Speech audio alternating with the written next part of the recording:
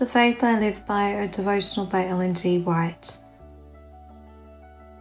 Signs by land and sea. The great day of the Lord is near. It is near and hasteth greatly.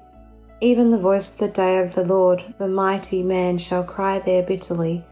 Zephaniah 1:14. We are near the close of time. I have been shown that the retributive judgments of God are already in the land the Lord has given us warning of the events about to take place. Those who are drinking from the same fountain of blessing will draw nearer together. Truth dwelling in the hearts of believers will lead to blessed and happy assimilation. Thus will be answered the prayer of Christ that his disciples might be one even as he is one with the Father. For this oneness, every truly converted heart will be striving.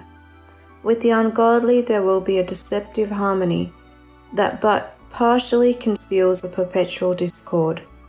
In their opposition to the will and the truth of God, they are united, while on every other point they are rent with hatred, emulation, jealousy, and deadly strife.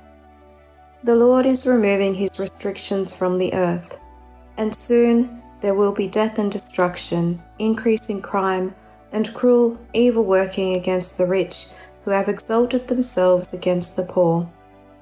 Those who are without God's protection will find no safety in any place or position. Human agents are being trained and are using their inventive power to put into operation the most powerful machinery to wound and to kill.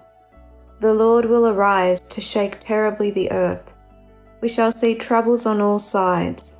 Thousands of ships will be hurled into the depths of the sea.